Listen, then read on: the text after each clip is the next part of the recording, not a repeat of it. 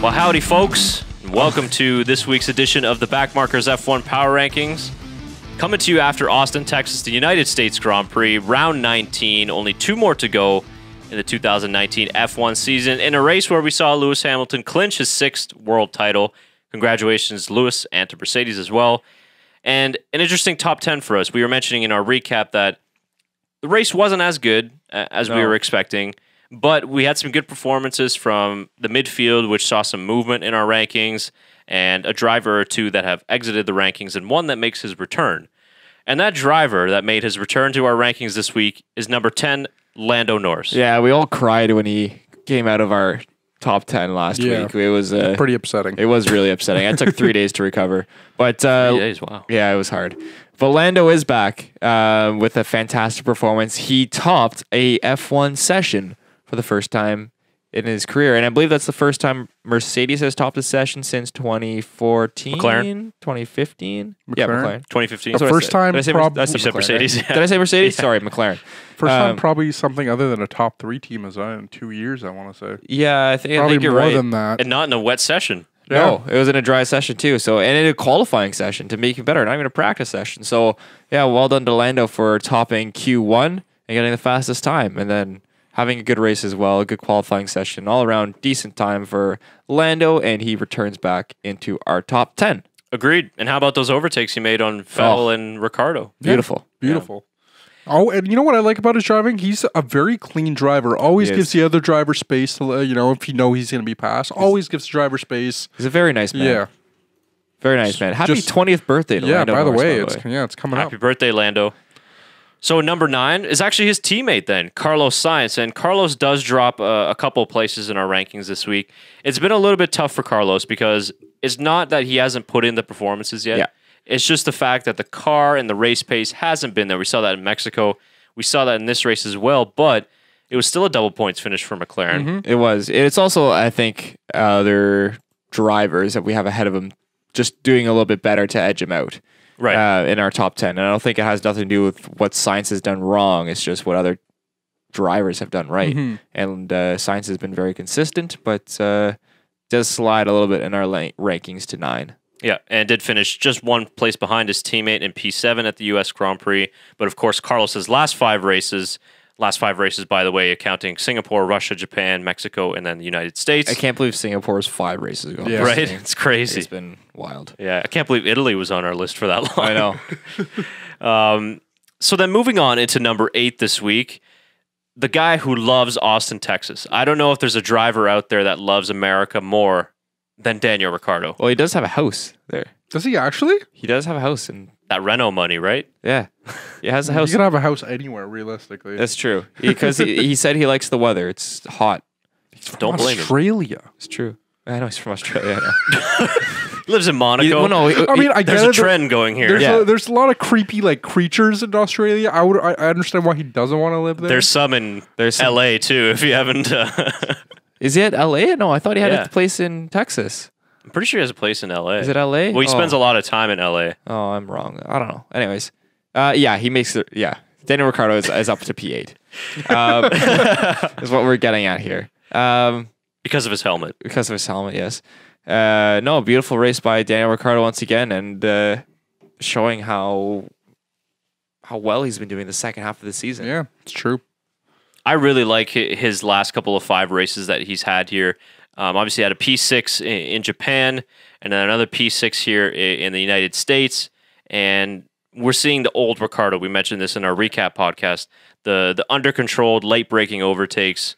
He hasn't really made any big mistakes in the last five races. Has been outperforming his teammate as well in the last two to three races. So I really like to see Ricciardo fighting for position again. It's a shame that he can't be fighting for race wins and podiums uh, again. Um, that that's a real disappointment, but that's the car's fault, not his fault. But at the end of the day, still good enough for eighth on our list. Yep. Yep. So in P seven, Oh, I don't have my glasses on. Sorry. Oh, I can read it for you. I Sorry. always try and build a suspense. Never happens. Uh, it's, it's Sergio Perez. it is Sergio Uh, Perez. it is. Uh, he carries over his impressive performance since the later half of the season. I don't even think it's the last five races. I think there was one maybe not top ten finish he's had since the end of the summer break. But that was Italy. Yeah. Yeah. uh, Otherwise, he's just been on form, uh, making his overtakes look really easy on other drivers. Mm-hmm. Um, I think he just maybe had one incident towards the end of the race, but other than that, yeah, but that wasn't his fault. Danny Yeah, Kvyat, the torpedo Kvyat, came right? back once again, and That's what four, or five Two races in a row. Di- Is it two? I think know it's two for sure. Is it I three? It's three. I want to say it's three. torpedo's back. Danny, da- Daddy Danny. What do they call him? What did I call him earlier in the year? Daddy- Yeah. Daddy Danny. That nickname Father, is gone. It's fa- gone. Father, Father Danny. Daniel. That's right. You guys were not okay with Daddy Daniel. That's right. Oh yeah, that's right. That's right. Father. Yeah, Yeah, thanks for reminding me. that's right. Father Daniel uh, is now gone, and it's back to the torpedo. Um, but Perez from pit lane to P10, another fantastic race for Racing Points and the Mexican uh, coming off uh, again a nice, great Mexican Grand Prix, home And Grand Prix. he, he had some great racing with um, with Lance Stroll as well. Yes. You know, uh, two spots behind him. They had, they had some great team racing there as well, uh, keeping those positions intact. So yeah. So then in P6, Sebastian Vettel. And disappointing race for him in Austin, Texas, because of obviously the suspension failure. Yeah. Had that ka moment. Lightning going over, McQueen. Yeah, going over turn eight uh, and then nine with the broken suspension. I don't think that there would have been much coming out of this race for Vettel and Ferrari. I think he would have been P6. Yeah, they were struggling a lot, but he did get P2 in qualifying, and he's really continued this strong run of form. Uh, and qualifying has been a big improvement for him in the last three races or so over Charles Leclerc. Uh, obviously, he won't be able to scratch back that uh, deficit in qualifying overall in the head to head, but nonetheless, it's good for 2020 to be able to be a little bit more comfortable with the car. A- And I think that Vettel right now, sixth position is probably where we put him because the other drivers ahead of him as well.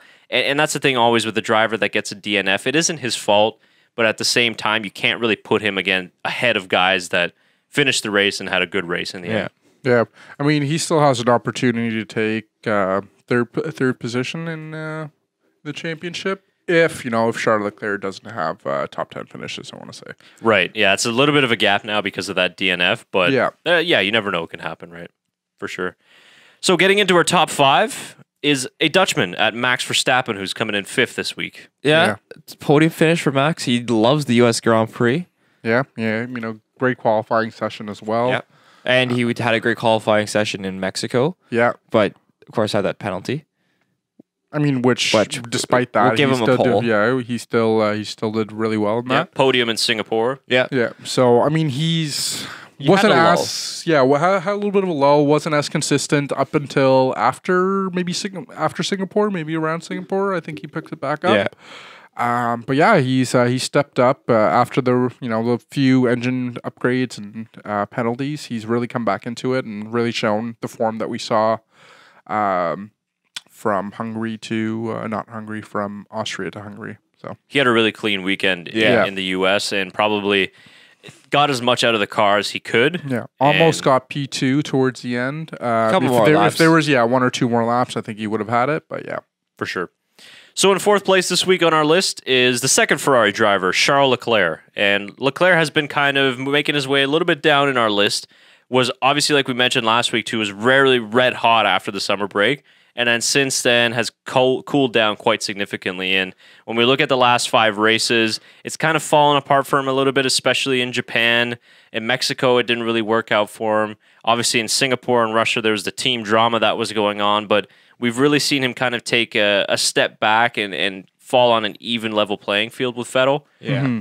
Um, you know, he's still got a couple podiums in the last five races, which is a decent result, but it hasn't been the same Leclerc like we saw in Belgium and Italy, for example. Yeah. No, 100% it hasn't, but uh, he has still been better than Vettel, uh, which is why he's higher in our power rankings. he's but- just he's been consistent. yeah. Where Vettel has not been consist- consistent. You know, Yeah, he'll have a good that's fair. qualifying session, won't carry it through the race. Where Charles Leclerc, you know, will have a great qualifying session and he'll he'll still be consistent and get you know top five finishes in his races. So. Yeah. And Leclerc's also been able to finish all five races in the Yeah. last five, whereas Vettel's had two DNFs. Yeah. Again, not his fault, but still, you, you got to rank him higher than his teammate. So, in our podium places this week, at third place, we have Alex Albon, a driver that's been pretty consistently holding on to P3 uh, since the last couple of races, actually. His seven straight top six finish. And one was really impressive here at the United States Grand Prix was obviously had the contact early on at lap one, came back all the way to finish fifth, which is pretty impressive for the young rookie. From Yeah, that- P20 to P5. That's so. something Max Verstappen does. Yeah. You know, like, that's, that's something that Sebastian Vettel does, that future world champions and former world champions do. And it was a fantastic race from Albon, um, and something that we want to see from him down the line that could secure him a Red Bull seat for next year. Yeah, I mean, there was, you know, he didn't have some great overtakes, but he had very, he had overtakes that he made it look really easy. yeah. Yeah. And I think that's what just carried him through. He knew exactly what to do with each turn to make it to make it happen to get that uh, to get his grid position up to P five. So, um, puts him in the top three. What two weeks in a row? I think, uh, I think you're right. Three weeks Two? in a row. Three now. weeks in a row now. Yeah. Yeah. Yeah, Okay. since uh, since Japan, we've put him in there. Okay. Good for him. Good Yeah. for Alex. Yep. His first time in America ever. That's true. Yeah. He's never been to America Yeah. before. That's right. Pretty good job then. yeah. First time on Yeah. the track too. Yeah. Yeah. So exactly. equally impressive. So our last two places and one that's deserved for the champions of 2019 and Mercedes does occupy our top two places. At number 2 though, we have the US Grand Prix race winner and that's Valtteri Bottas. And Valtteri yeah, put that little finish. Yeah, that was ac- very accent nice. on That there. was Uh, it was more Italian, but uh, Was it? I'll- yeah, but I'll go with it. Just go with it. It was sounded right, good. Run with it. It sounded good. Valtteri, he has two wins, one pole, one podium in his last five races, and a very impressive pole, to say the least, at this track, Circuit of the Americas, which has been a Hamilton track. Yeah. And apparently, it's his first time ever leading uh, the Texas Grand Prix. That's he right. Never led a minute right. before, so it said he led pretty much the entire race, except for maybe like 10, 12 laps. So Yeah, and he had a nice charge comeback uh, Yeah. over Hamilton and a beautiful pass to take the lead. Um, as you mentioned, two wins. Uh, now gives him four wins for the season, his best ever in F1, and it's been a good season for Valtteri.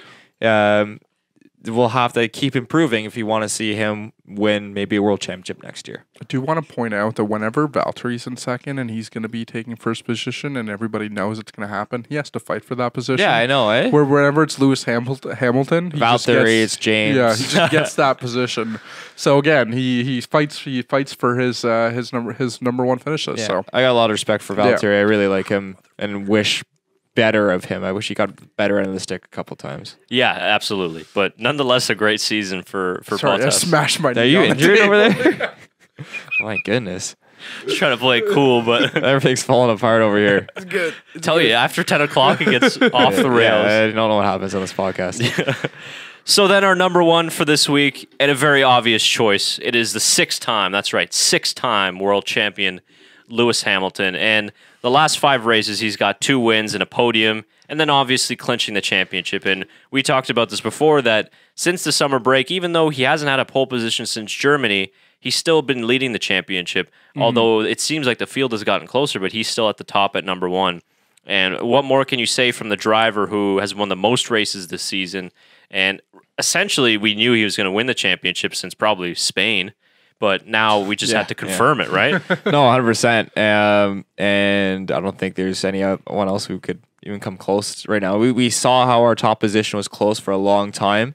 Um, I think Lewis has it pretty solidified right now uh, at the number one spot in our power rankings, and well deserved so as well. Uh, as you mentioned, a lot of things you mentioned, and uh, now six time world champion for the Brit. and the masseuse of the tires The- again yes, this the week, masseuse. Yeah. Yes, he was massaging those tires. Making the, the hard tire last a little bit longer than we all expected. Valtteri was getting a little know- bit edgy at some point. you know who needed a massage? Vettel's rear suspension. Ka-chow. so maybe Lewis can help can help Vettel on that.